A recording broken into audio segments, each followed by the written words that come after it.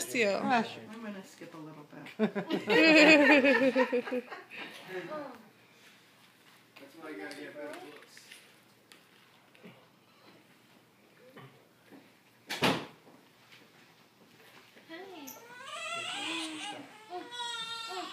Oh, thanks Sorry. Hank. So the sticky tacky one? As the last Yeah, it's table ready like they had for eight nights, we wish a happy Hanukkah to all, the